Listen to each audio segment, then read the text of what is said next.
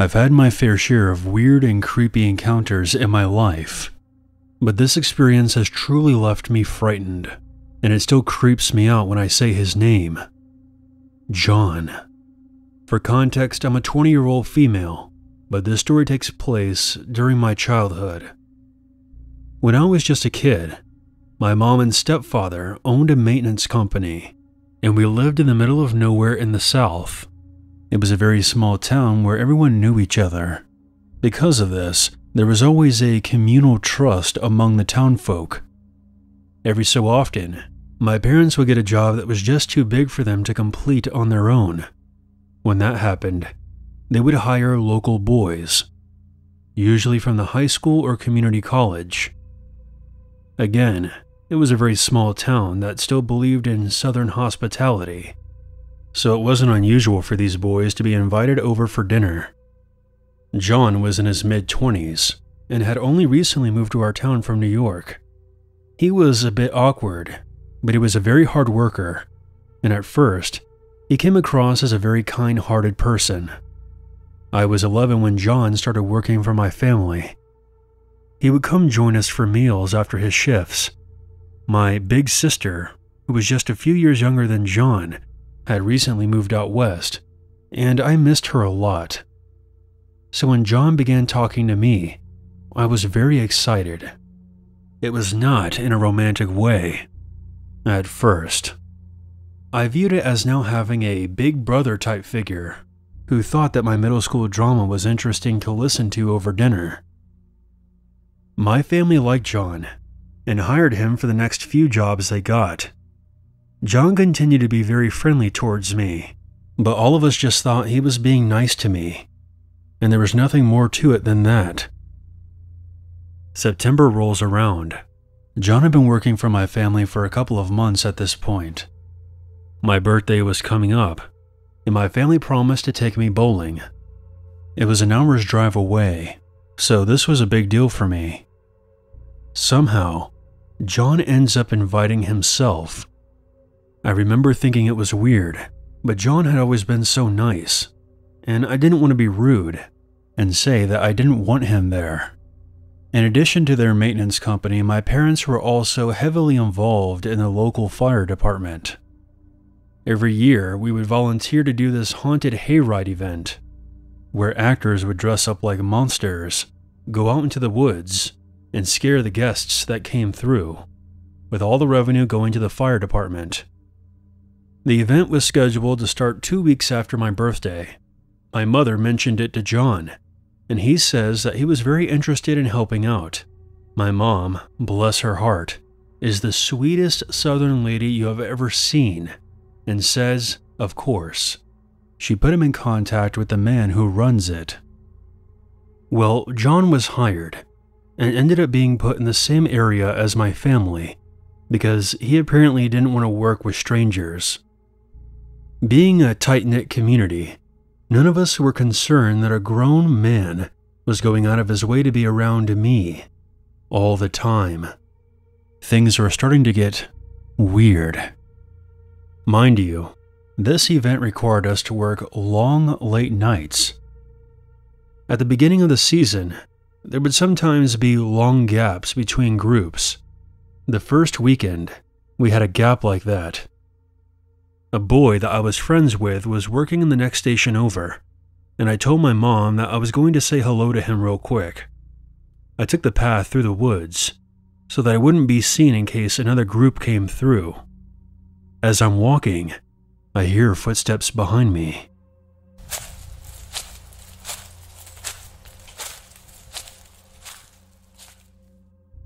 I turn around, and there's John.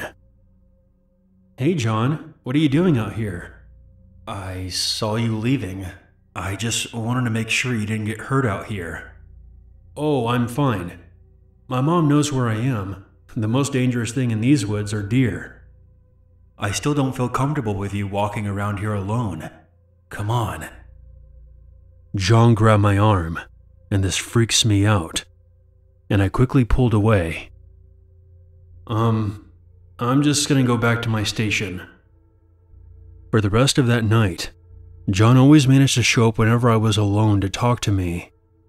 I never mentioned this to my mom because I still felt that my discomfort toward him was rude. My family liked him, so surely I should too? Fast forward to February. John hasn't been around much because most of the jobs coming in didn't require him. On Valentine's Day, I got home and I see a vase of red roses in the kitchen. I asked my mom if my stepdad had given them to her. She says no and handed me a card. It said something like, You're the most beautiful girl I've ever seen. My mom asked me if any boys at school would send me something like that. I tell her no. At that time, there was no boy in school who was interested in me in that way. The next week, John stops by my house.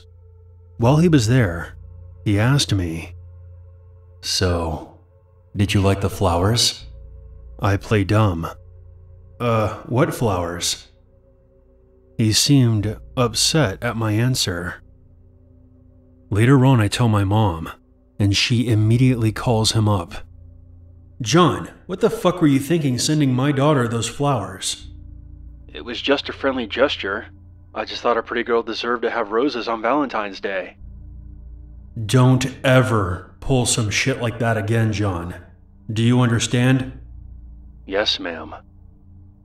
Come April, mysterious bouquets of flowers started getting delivered weekly, almost daily. My mom must have known it was John. She calls him again and tells him to cut it out, and that he's no longer welcomed at our house. Not long after that, I was downstairs messing around on the family computer in the living room when I heard a tap on the window beside me. I looked out, and there was John, standing on our porch, a creepy smile plastered on his face. I admit I wasn't as alarmed as I should have been.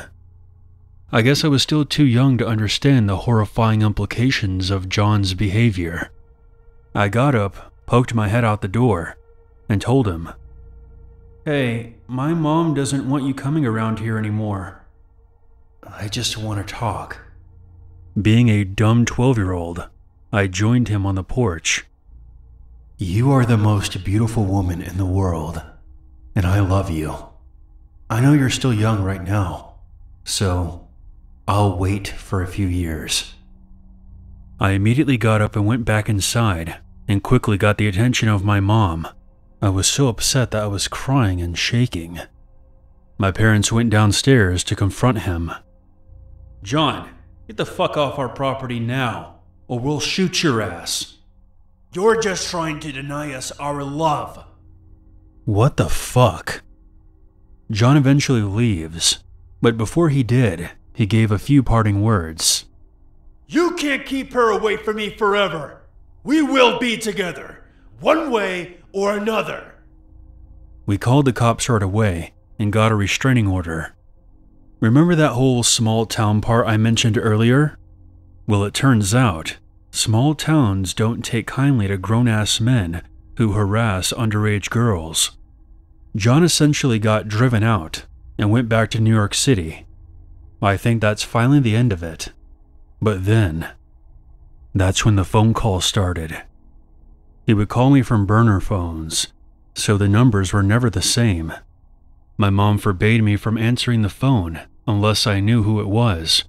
Before all this, I always answered unknown numbers, since our house phone was also the company number, and it might have been clients calling. My mom didn't tell me until much later that the calls got continuously more violent and sexual in nature. They would always contact the police, but very little was ever done. Then, things suddenly stopped, and it seemed like it was finally over. When I started high school, I soon forgot about John. Boys my own age began to like me, and everything seemed to be normal until the end of my senior year. A letter came in addressed to me. You're old enough now. I've been waiting just like I said I would. Soon, I'll be back, and we can be together. just like we planned. The cops were called again, and my school was informed. I only had a month left until graduation, and my teachers watched me like hawks. My mom insisted on coming to pick me up every day. I wasn't allowed to leave with anyone else. I felt alone and disconnected from my friends, and the fear I experienced four years prior had returned in full force. We were contacted by the police a few weeks later, and they told us that the NYPD had arrested John on unrelated charges, but that they couldn't disclose much more than that. I foolishly thought that would be the end of it. After graduation, I moved a few hours away and landed a pretty sweet acting job. That October, two things happened in one week. Another letter arrived at my mom's house. It was just as frightening and threatening as the first. I'm not even going to repeat what it said, but it was very graphic. I also received a note in my dressing room, at my job. Confused, I opened it up. It was an invitation to meet up with an old friend. I have no clue if this was related to John, but something tells me that this is too strange just to be a coincidence. I haven't heard from John since, and I've moved again since that last letter. I don't know if he's still in jail. Hopefully he is. As traumatic as all of this was for me, I sincerely hope he has never put any other young girls through this.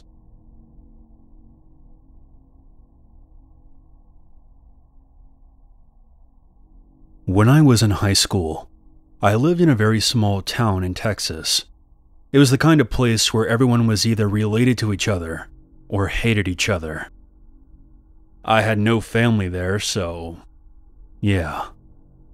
I did have a pretty blonde girlfriend, and was pretty hated for that too. Nothing major, just some petty harassment and occasional fighting. But at the time, things had been escalating. So that's why on Valentine's Day, my girlfriend and I decided to skip the school dance and just stay in and watch a movie at her house while her parents went out. It was just better to avoid any kind of trouble. We borrowed her dad's car, a little Honda hatchback, and went into town. We stopped at the video store, and afterwards we went to Dairy Queen and headed back to her house. Now, she lived in the boonies, it was out in the middle of the forest, along a lonely road, with no streetlights. We were chatting and eating our blizzards, when all of a sudden a car comes up behind us. No big deal. It became a big deal when the headlights flooded the interior of our car, and I saw a pair of hands on the back seat and the top of someone's head peering up from the hatchback. The lights had illuminated somebody hiding in the back of our car. As soon as the lights hit, the head and hands retreated back down. A solid chill ran through the entire length of my body. I slowly reached down and pulled out my pocket knife. It was the only thing I had. My girlfriend saw me and asked what was wrong. I then responded, Nothing. I just had to stop at my friend's house real quick. She knew that was bullshit. I didn't have any friends.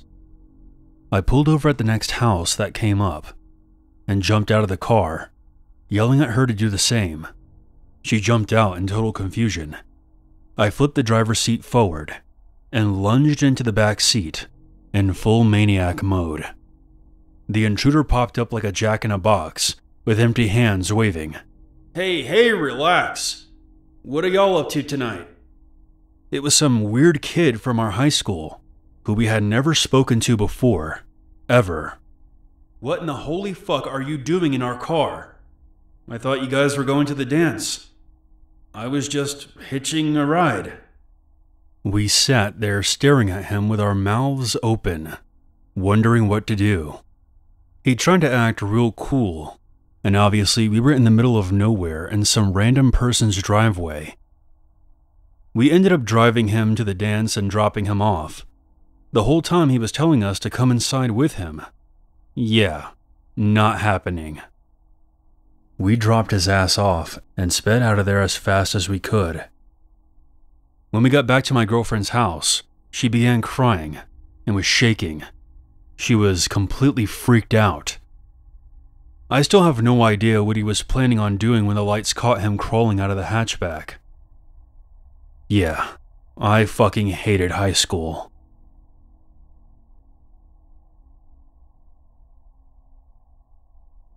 I live in a small town in the Midwest. It's relatively safe.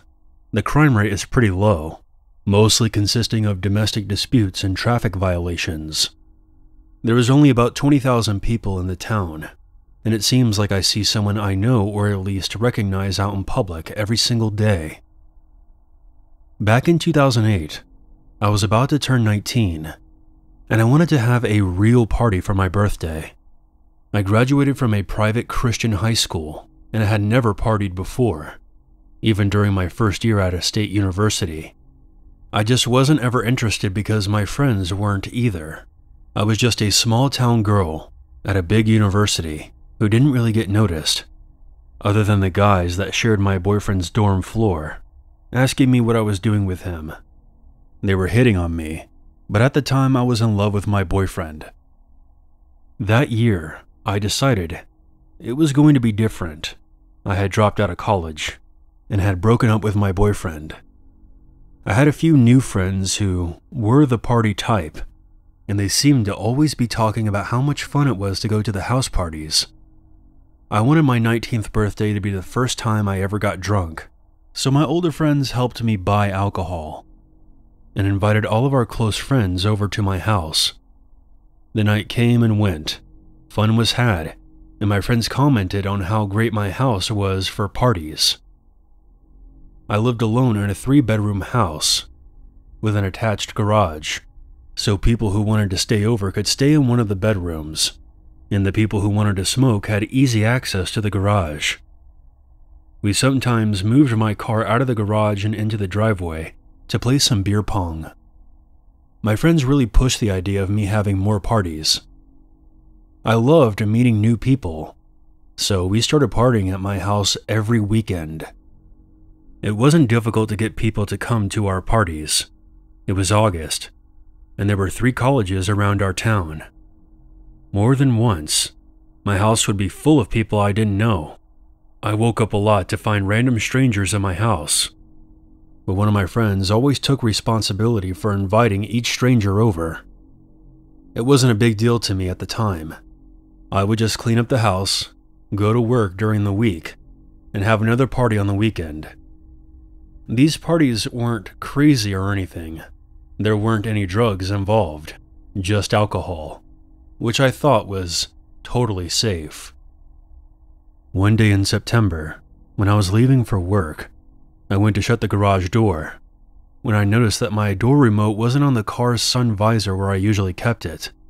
I thought maybe it had fallen off. So I got out and searched under the seats. I was more annoyed than scared because I thought I had maybe taken it out while I was drunk or something. I shut the garage by punching in the code on the wall panel and went through the house to get back to my car and headed for work. That night at work, I clocked out for lunch, and as soon as I entered the parking lot, my phone rang.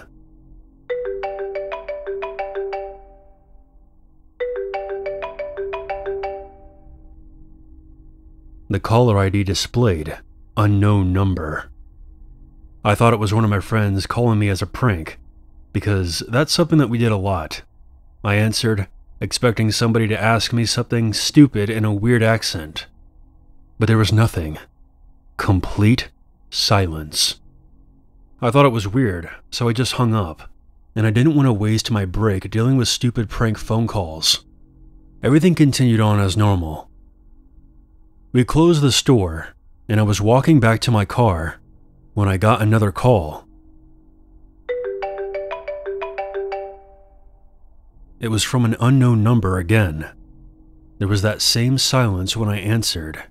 I really thought it was one of my friends because I hadn't had any missed calls. And how could this person be calling me as soon as I clocked out and knew that I had my phone on me? My friends were all familiar with my schedule, so this had to be the only explanation.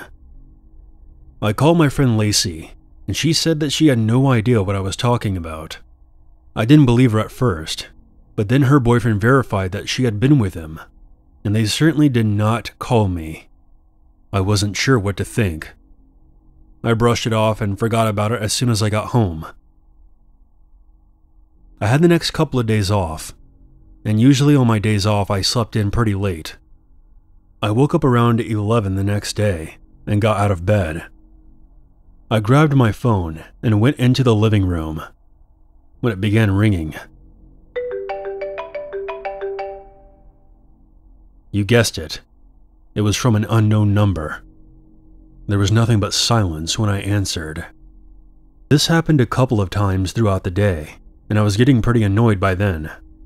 I was also annoyed that I still couldn't find my garage door remote. I looked everywhere that day, eventually just giving up. I thought maybe it had fallen out of my car while I was out. Fast forward about three weeks. The calls started happening every single day. The most unsettling part of all of this they would happen only when I was available to answer my phone. I never had any missed calls during work or when I was asleep. As soon as I would step out of my workplace, the unknown number would call me again. I really thought somebody was going to some great lengths to play a prank on me. But even stranger things began happening. I stopped parking in the garage because it was so annoying to go through the house to open or close the garage door.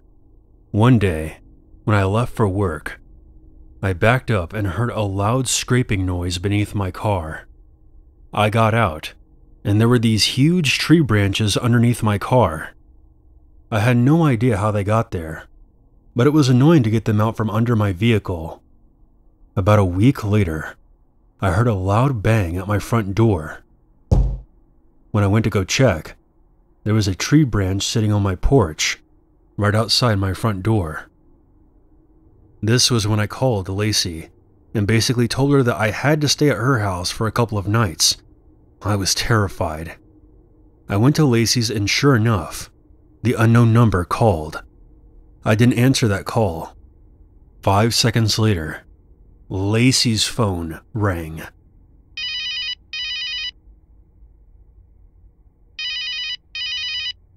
It was from unknown number. We were super freaked out.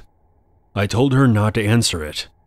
At this point, I knew it was either a mutual friend playing this crazy, drawn out prank on us, or we had a real stalker on our hands. I decided to tell one of my managers at work what had been happening. He immediately told me to call the police the next time I received a call. Like clockwork, my phone rang as I walked to my car during lunch break.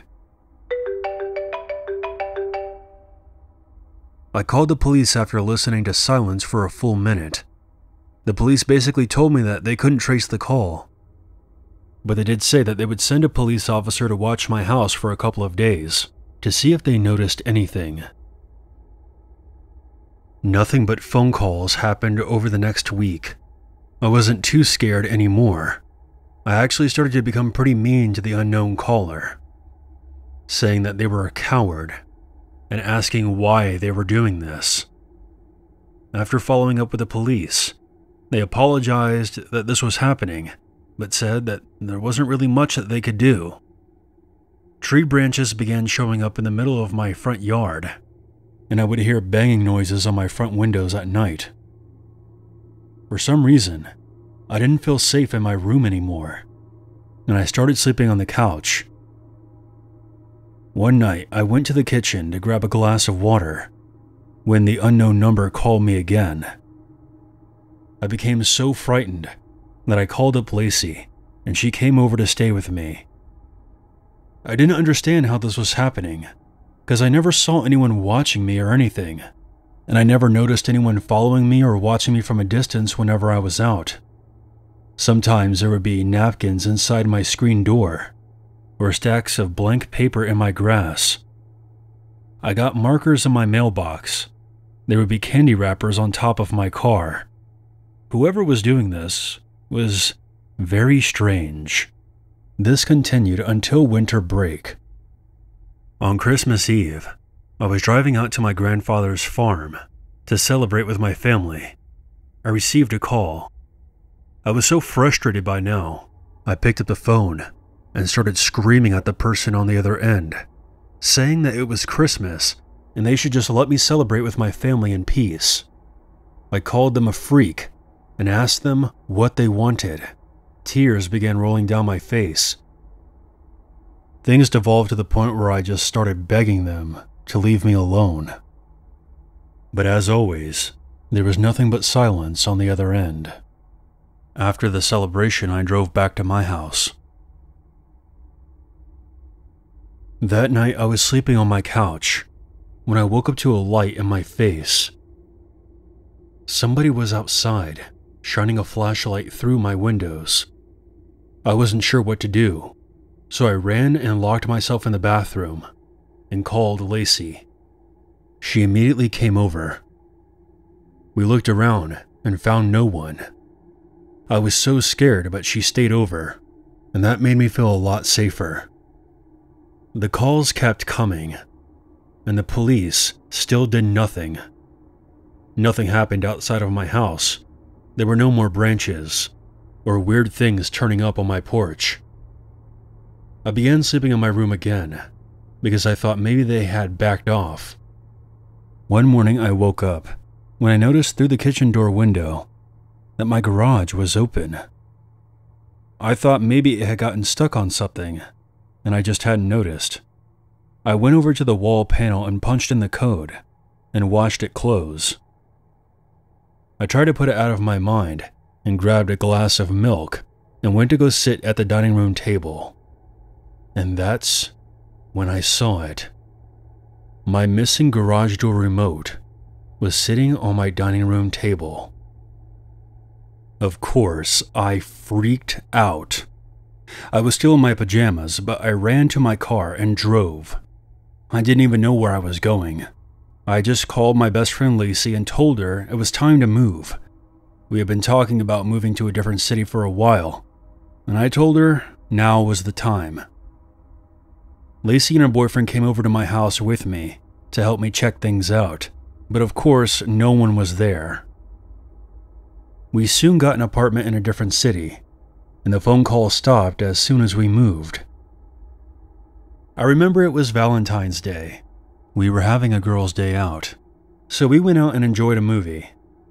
I told her that I was going to leave my phone in the apartment. I remember plugging it in the charger in the kitchen before we left. On our way back to the car, Lacey and I were chatting about the film, and I saw something sitting beside the car on the ground.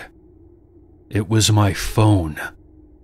We both died a little inside and ended up staying at her boyfriend's house that night. There was no sign of anyone being in our apartment the next day when we got there. Unfortunately, I never found out who was behind this. No one has fessed up. I know that none of my friends would have let me live in a constant state of fear for nearly five months. I even asked a few random people who were at my house parties that I didn't know that well, but no one had any idea what I was talking about.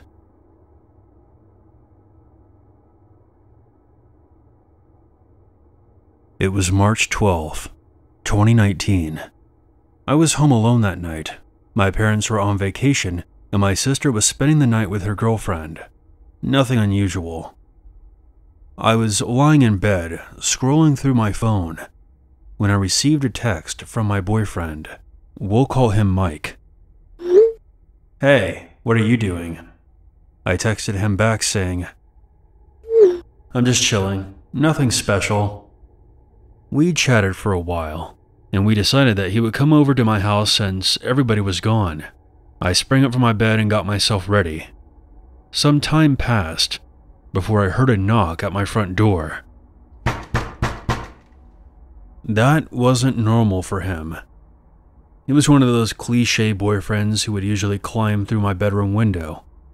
but since I was alone that night, I figured he didn't want to risk busting his ass. I went downstairs and looked through the peephole. No one was there. I then texted my boyfriend. Hey, where do you go? He opened the text and read it, but did not respond. I thought that was strange. My thoughts were immediately interrupted as I heard another loud set of knocks, this time at the back door. Now, I was becoming nervous, and a feeling of dread began to set in. I received another text, not from my boyfriend this time, but from his brother. I almost dropped the phone when I read what was on the screen. Mike lost his phone earlier today he wanted me to tell you that he's going to be busy tonight studying for his exams. My heart practically skipped a beat when I received another text from Mike's number.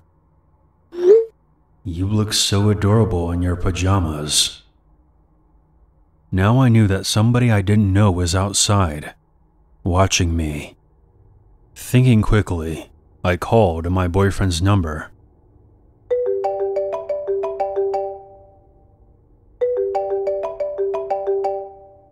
I heard a ringtone from upstairs, in my bedroom. I ran down the hall to my parents' room. My dad always kept a gun in his closet.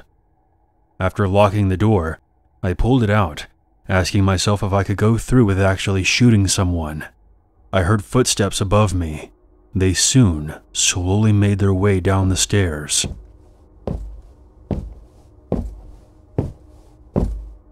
I called at 911 and reported the break in, whispering into the phone. The dispatch told me the cops would be on their way. My stomach dropped when another call came in. The intruder had dialed my number. In all the panic, I forgot to put my phone on silent. I then heard laughter coming from down the hall.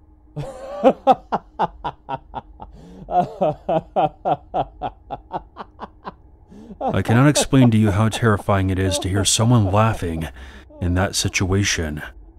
I was now scared for my life. I then heard a loud bang on the bedroom door. It soon flew open as the intruder entered the room. I saw the shine of a knife in his hand as he raised it into the air. I staggered back, but aimed my father's pistol and pulled the trigger. Mind you, I had never fired a gun before. My dad showed me how to operate it, but hadn't taken me to the range yet. I can't explain how this happened because my eyes were closed. But the shot I fired knocked the knife from the intruder's hand. I then aimed the gun at his head. Don't move, I told him, making my voice sound as aggressive as possible. The guy must have thought I was a sharpshooter and had no idea that I actually got lucky. The police soon arrived and forced their way inside the house.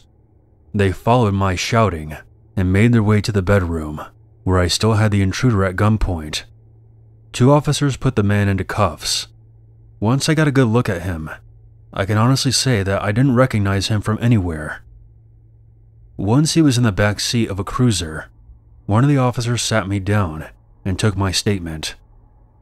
Long story short, my parents ended their vacation early, and my sister came home the next day. We still have no idea how long he had been watching me for, and how he managed to get Mike's phone.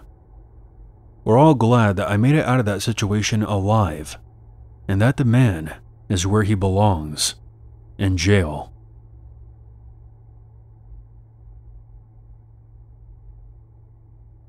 This story happened to me when I still lived at my parents' house. I was commuting to college at the time, and I had three siblings that also lived at home my brother and two sisters. For context, we lived on five acres in a rural area in Ohio, surrounded on both sides by forest and farm fields. Additionally, during the week, my dad normally left for work at 2 a.m so I had always felt like it was my job to be the man of the house, because he was gone during the times where you would imagine something sketchy happening. However, on this night, because it was a weekend, my dad was actually home. I woke up to the sound of my brother's voice trying to get my attention. We had separate rooms upstairs, and coming out of our rooms, you could look down over the banister and see our front door. When I woke up, it took a few moments to get out of the haze and realize what was going on. I look over at the clock and saw that it was 2:30 a.m. My brother told me that there were two men at our front door. Now, this really woke me up. We quietly walk out of my room and peek over to look down at the front door. There was no one there, but I noticed my parents off to the side, out of view of the glass on the front door. I whispered down to my dad, and he told me there were two guys that had been talking to each other and knocking on our door. Hearing my dad say this freaked me out even more. I went back into my room and grabbed my gun, quickly shuffling down the stairs after looking to make sure they weren't at the front door. If they had been, they would have easily seen me coming down the stairs. My brother was right behind me as we headed over to where my parents were. My parents had awoken to the sound of our dog barking and had come down to find these two men loudly knocking at the door. At this point, the men returned and began knocking again. The fact that they were there at this time, in a location where the houses are spread out by a hundred yards, and still knocking despite a dog barking, made the situation even more terrifying. After a couple of minutes, the men walked away, and we all shuffled across the kitchen into the family room to peek out the windows into our driveway, which was lit up by our outside light. There was a black Cadillac sitting there, but no one was behind the wheel from what we could see. Immediately, the question was where did these guys go? They weren't in their car, and they were no longer at the front door. Unfortunately, we found out the answer when the handles on our back doors started rattling. They were now actively trying to force their way inside. At this point, I just remember my mom frantically saying my dad's name, as pure terror overwhelmed her. Then, two things happened. Adrenaline rushed through me as I prepared my handgun, horrified at the very real possibility that I might have to use it. Secondly, my dad finally grabbed the phone and called the police and calmly told them what was happening. Thankfully, after a minute, they stopped trying to get inside and disappeared again, only to return to the front door and started knocking again. Several minutes had gone by, and we suddenly saw the local police flying up in multiple cruisers with their lights on. As they whipped into our driveway and front yard, the two men bolted, attempting to run the long way around the house. One of them disappeared from our view, while another was intercepted by an officer, yelling for him to get on the ground.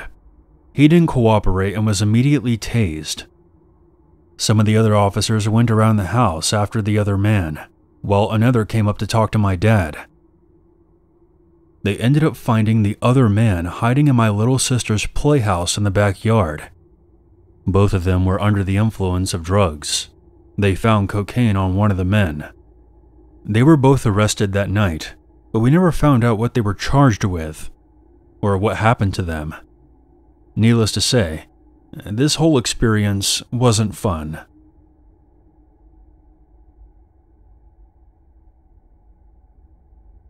Growing up in a house in the middle of nowhere seems to generate this kind of story. I think I must have been around nine years old when this happened. My mom was a single mother. Our nearest neighbor was within running distance, but definitely not shouting distance. There was a main road that ran past our house. We would maybe have two to three cars pass by in the evening, people who were heading into town and avoiding the highway. Our nights were almost always very quiet. It was the kind of place where if you heard a knock on the door, your blood ran cold for a couple of seconds. It usually meant that somebody was lost, or maybe someone had crashed their car on the awkward winding road. Also, for some reason at the time, we didn't have any curtains. We had these huge windows on both sides of our living room. It would always creep me out a bit whenever I was home alone, but my mom never seemed to worry about it. It was a Friday night.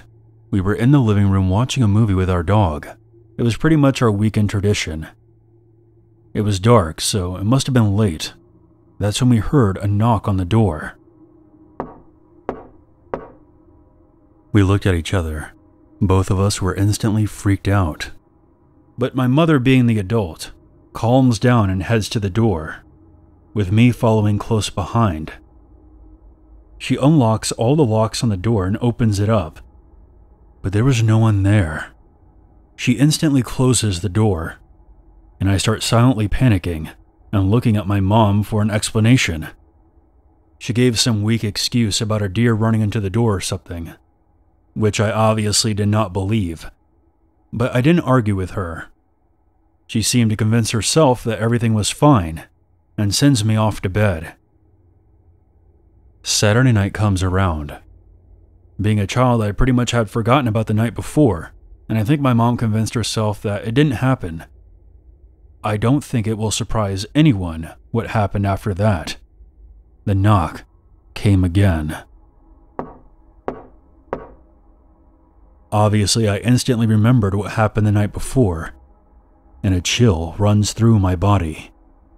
I don't know if any of you have ever seen your parents who look genuinely frightened, but when you're a small child, there is nothing more terrifying. We make our way to the front door, and again, no one is there. This time, we're both undeniably freaked out. As I said before, our living room had these big windows on both sides. When the lights were on, we couldn't see anything outside. But obviously, if anyone was outside, they could see us. Our living room was also at the center of our house and had the only phone directly in front of one of these big windows. The thought of walking into that room, knowing that whoever was knocking on the door could see us, was beyond creepy. We sat in the kitchen for a while, trying to figure out what to do next. Eventually, my mom had to do something. She said it was probably some kids playing a prank. Even back then, I knew she was grasping at straws. She carefully heads to the phone in the living room to call the police. It was nerve wracking, but the police eventually showed up.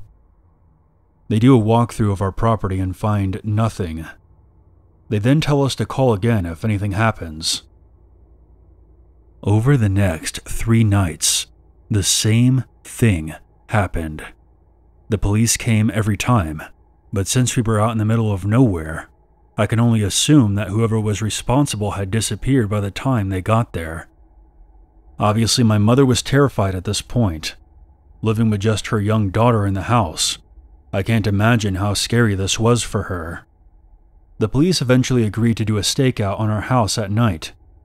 There was a little path that runs off the main road that led to the front of our house, so that's where they decided to set up, but they made sure that they were out of sight.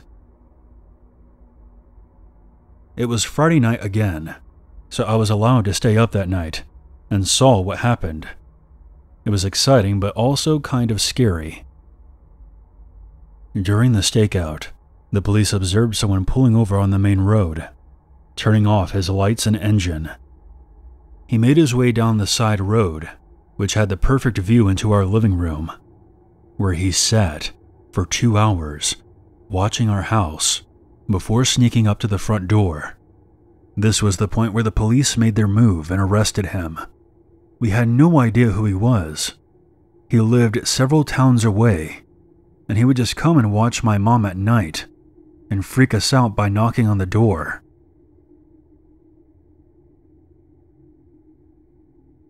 This happened when I was 10.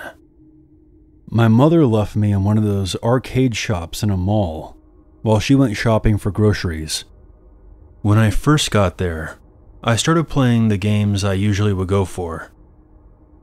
After a while, I decided that I wanted to play Dance Dance Revolution and I approached one of the employees and asked for help. He was a tall, dark man with curly black hair and a beard, and he seemed to be in his late 30s, which made him look a lot older than the two other employees working at the shop. Of course, since I was just a child, I didn't care about such details. He acted very friendly and was helpful at first. He obliged and taught me, and watched me closely as I danced through the game. I didn't mind at first, because I thought he was trying to make sure I could manage the game by myself before tending to another customer. However, several songs later, he was still standing beside the game screen, watching me. I don't know exactly how to describe his stares, but they made me feel unpleasant and uncomfortable. It got so bad that I could no longer concentrate on the game and eventually stopped playing. Just remembering the way he was looking at me still sends shivers down my spine. I decided to try and play some other games, but he followed me to every single one. I was hoping that he would get fed up and leave me alone, but he never left. What makes this even creepier is that his facial expression went from being the kind employee to slowly turning into something more serious and dangerous. Then the realization hit me. Taking a closer look, this man was not an employee. He was wearing something that resembled the uniform, but not exactly. I was a very shy kid, and despite there being so many other children with their parents and other employees at the shop, I couldn't muster the courage to ask anyone for help. Since I was alone, they probably all thought that he was my guardian. I tried my best to ignore his presence and just continued playing different games hoping my tokens wouldn't run out and my mother would be by to pick me up soon. Finally, I decided not to wait for my mother and just go to the grocery store myself to find her. The arcade was located on the second floor, and the grocery store was on ground level. I was about to go down the stairs. That's when I noticed that this man was still following me all the way outside the shop. He caught up to me fast and to my surprise, he whispered something in my ear. I couldn't hear him well because of the noises from the arcade. Noticing my confused expression, the man smiled as he slowly placed his hand on my shoulder and repeated himself, What's your name? Fortunately, at that moment, my mother came to pick me up. I looked back at the man, and all of a sudden, his expression changed back to the kind person who helped me out earlier. Still scared, I watched him as he played the nice guy to my mom, who didn't suspect a single thing. I didn't tell my mom this man was stalking me either. I just really wanted to leave. When we were walking back to the car, I looked behind me one last time. I really wish I hadn't. The man was still staring at me. He slowly waved at me and winked before silently mouthing the words, I'll see you. That was the scariest moment of my childhood.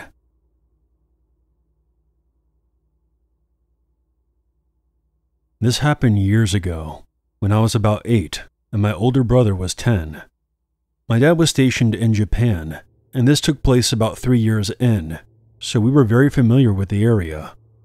So that no one thinks badly of my mother, who is amazing, crime, and harm to children in particular, was punished with incredible severity, so it was normally very safe to be out by ourselves.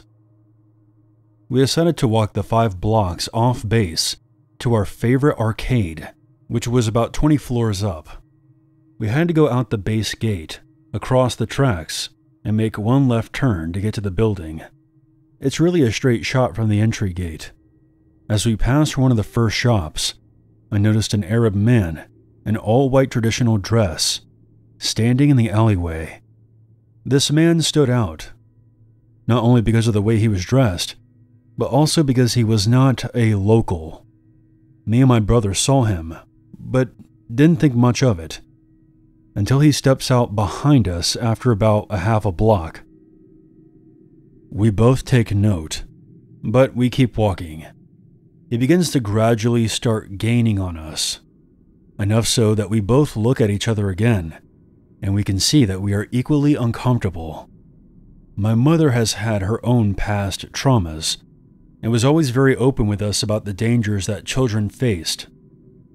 And I immediately got the sense that something was not right about this guy. So, seeing the look on my face, my older brother leans in and says, Let's see if he's following us. We then picked up our pace, make a right turn, and then two left turns, bringing us back to our original route. If he had been going his own way, he would have never done this. But sure enough, he followed the whole way. As soon as we made it back to the original street, my brother shouted at me to follow him, and we took off. The guy shouted as soon as we took off, and the two times I glanced back, he was chasing us at top speed. We had done some triathlons with my dad, so we were in good condition to run in the next five blocks, we ducked through street shops and took alleyways trying to lose him. We ended up going to the building and taking several escalators to the arcade. The man was following us the entire time. When we got there, my brother dragged me behind the biggest machine we could find, which was up against the wall. We soon saw him emerge from the escalator. He then realized he was on a floor packed with children he briefly looked around in frustration and then disappeared. This was a time before cell phones were commonplace, so we still had to get home. My brother hailed a cab out front and made sure there were tons of people around. When we got back to the gate, we had the guard call our parents so they could come pay for the cab and pick us up. Needless to say, we stayed on base for a good while after that.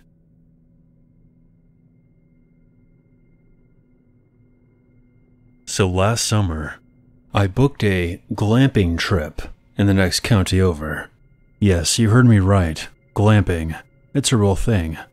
The website looked promising. It was a campsite of six large yurts outside of a small village.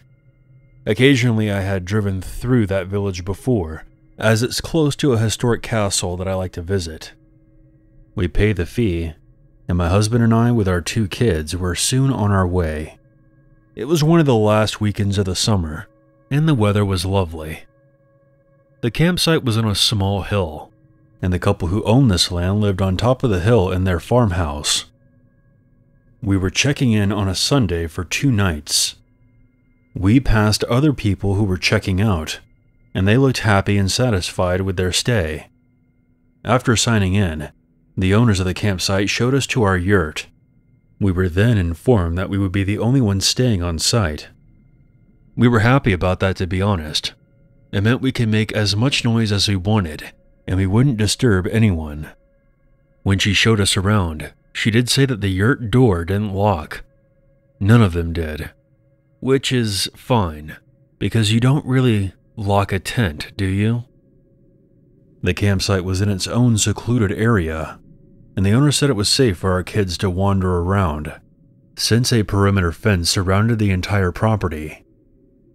The first night was fun. We had a barbecue, the kids played around, and we all went to sleep around 8. I found it hard to fall asleep, but I often do whenever I'm somewhere new. The cell phone service out this way was patchy at best, but I managed to get a signal, so I did some reading before finally falling asleep. The next morning, my husband seemed out of sorts. I asked him if he was alright, and he said, Yeah, I'm fine. So I left it at that. We went out for the day. The weather was blazing hot. We soon got back and began washing up after dinner. The kids were playing around outside when a shadow came over the whole place. I suddenly felt like I was being watched and the temperature suddenly seemed to drop.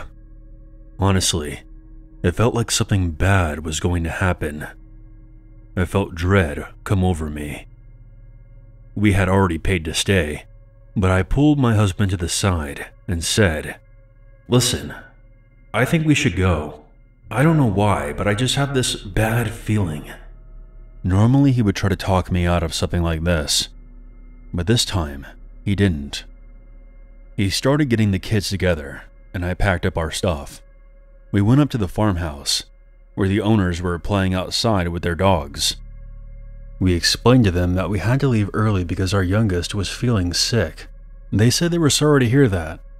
And then, just as I turned to leave, one of the owners asked if my husband had been outside the yurt last night, around 3 or 4 in the morning. I said no, he hadn't left my side all night. I would have woken if he had.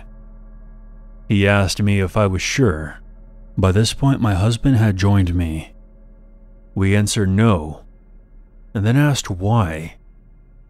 Well, the man said the security lights came on and the dogs began barking. And when he looked outside, there was a man who was wandering around the property, who then turned around and walked back toward the campsite. They assumed it was just my husband. We both said it wasn't, and then said our goodbyes quickly. We tore out of that place as fast as we could, and then a quarter mile down the road, my husband turned to me and said, I didn't say anything to you this morning because I didn't want you to freak out, but I had to use the bathroom around 3:30 in the morning. But as I was about to get up, I heard footsteps on the decking outside. I just laid there as quiet as possible, hoping that you or the kids wouldn't wake up. There was some unknown person walking around the campsite at night and was right outside of our yurt.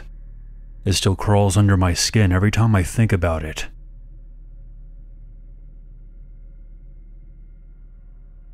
Every year, for the summer holidays, my family and I go to my grandparents' house in a region of France called Bretagne. They happen to live on a cliff right next to a beach, which is pretty neat. And for you to understand the situation, I'll do a quick description of the place. And more importantly, how to access the beach.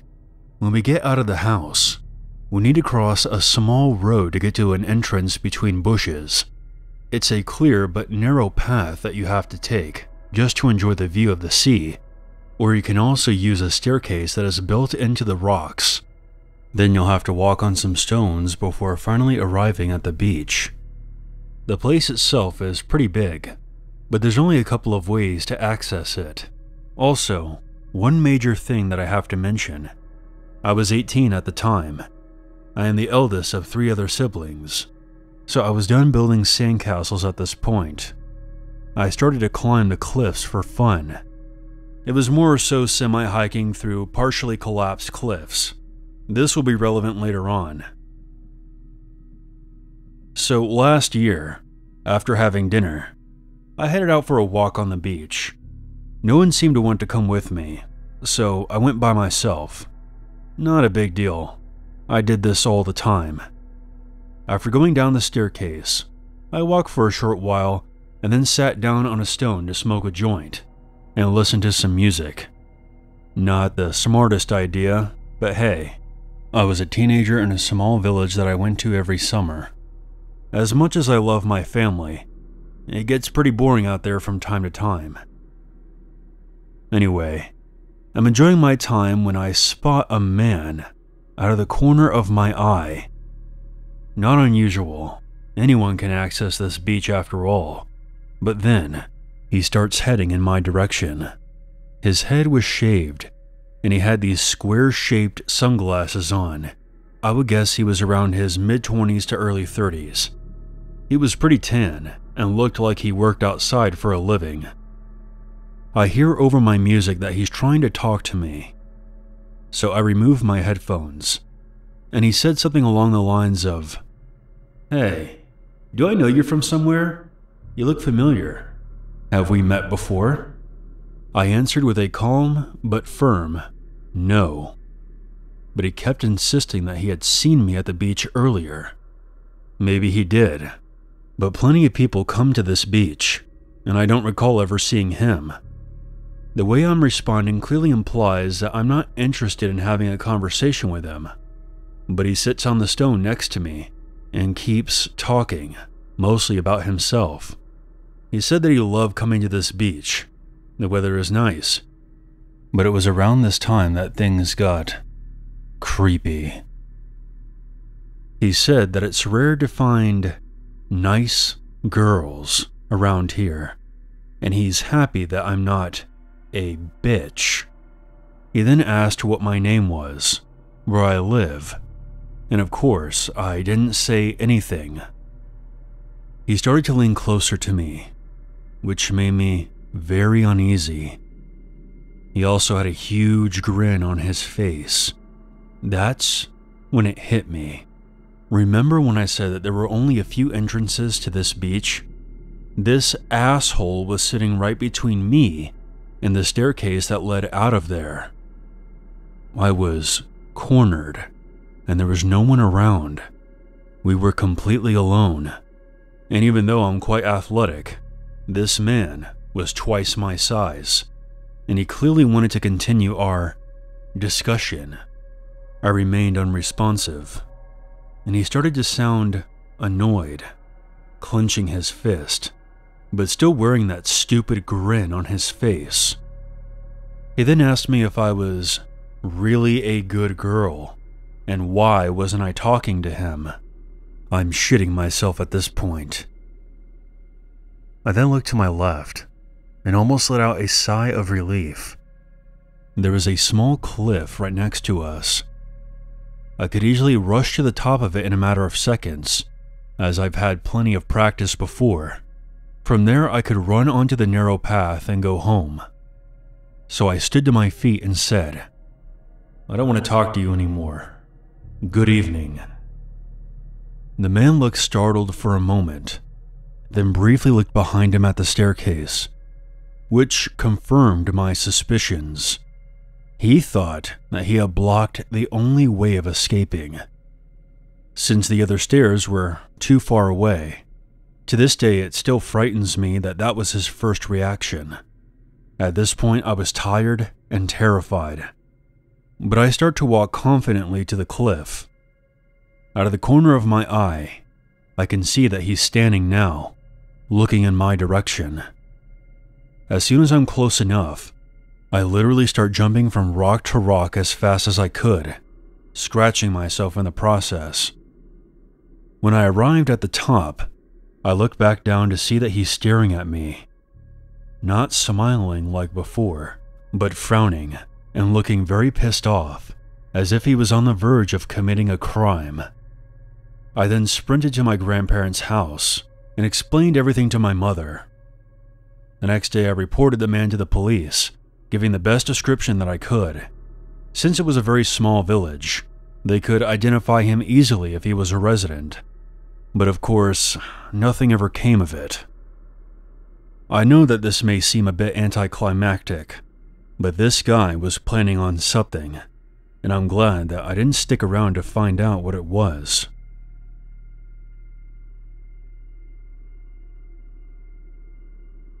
This took place around five years ago. I was 14 at the time and living in the UK. My family decided to take a vacation to Antalya, Turkey. We stayed for a week in a very nice hotel. It was around the third day when we decided to go explore the city with a touring group. We went to some great places, and the final stop was the local market, where you could buy various souvenirs or knockoff brands. My father and I were looking at some wallets when I saw one that caught my attention. A store employee came over and gave me the sales pitch, explaining that it was real leather, etc. I started asking my father whether he would buy it for me or not. He said that we would come back after we had looked through some of the other stores, just to make sure that there were no others that I liked. When we left, I had to look around some of the other stores sorting through various items, but I never changed my mind about the wallet. When we had about 15 minutes left of our time in the markets, we decided to head back over to the store that had the wallet that I wanted. I went back inside, and I noticed that the wallet was missing from the place it was earlier. Unbeknownst to me at the time, my father had gone outside to help my mother with something, who had been texting him. I asked the cashier if the wallet was still in stock. That's a very popular brand. I'm not sure if I have any left. But let's have a look in the back. There was a small door by the side of the checkout desk, which he then opened. It appeared to be a small stock room, with various items I guess he was planning to sell. He told me to follow him inside, as that was where he kept the rest of the wallets. I had been told about stranger danger from a young age, especially when staying in a foreign country. However, against my better judgment, I decided to follow him inside. He opened the door to allow me inside first, stating that if he still had that particular wallet I wanted, it would be on the other side of the room. I walked in without a second thought, and as I did, he slammed and locked the door behind me. Plunging me into complete darkness. I came to the sudden realization about what had just happened and began banging on the door and shouting for him to let me out. He yelled back to keep quiet, or he would do horrible things to me.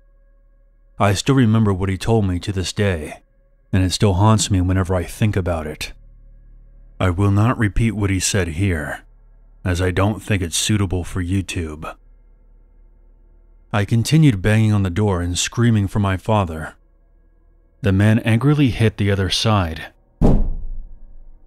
and yelled again for me to keep it down. Just as I was beginning to lose all hope, I heard my dad shouting my name. I shouted back, and I guess he heard me because what ensued was a shouting match between my father and the cashier. I couldn't make out most of it, but he told me after the fact that he was threatening to beat the living shit out of him unless he unlocked the door and let me out. I was stuck in there, terrified and worried about what was going to happen. I then heard the door unlock and swing open. My dad stood there, looking furious and terrified simultaneously. I ran out into his arms. He picked me up which was very rare for him to do, and we quickly left the market. To this day, I always wonder what would have happened if my dad had not heard my screams.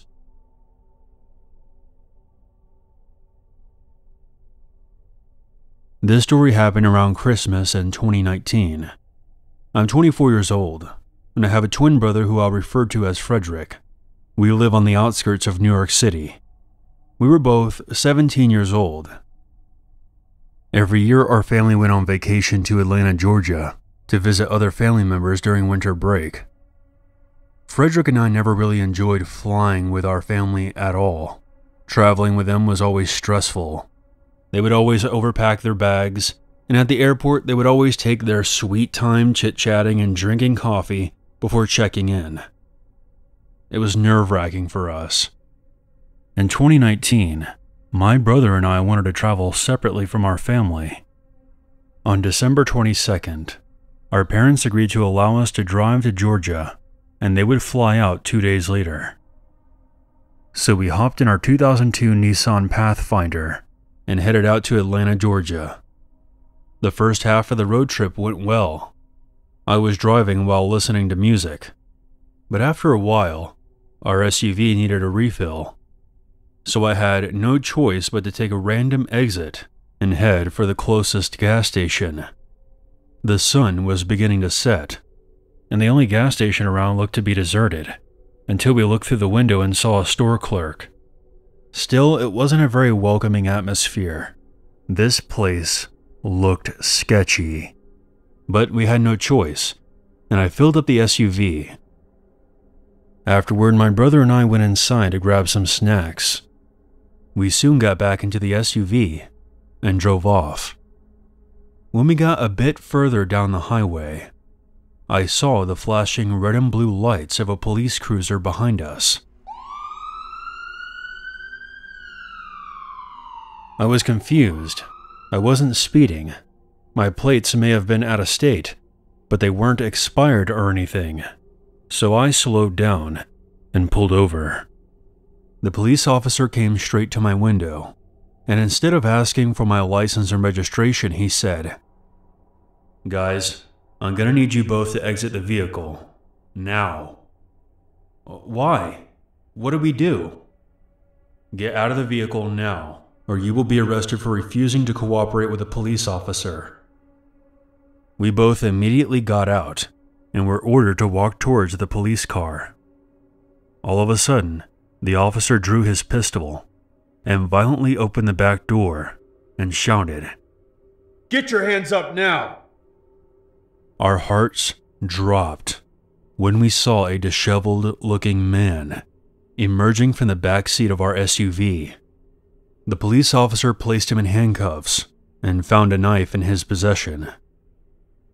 Frederick and I were absolutely terrified. It turns out that while we were in the store, this creep decided to climb into the back of our SUV. The officer saw what was happening from a distance and quickly sped up to catch us as we drove off. God only knows what would have happened if that police officer wasn't there when he was. From now on, we always remember to lock our car doors and always check the back seat.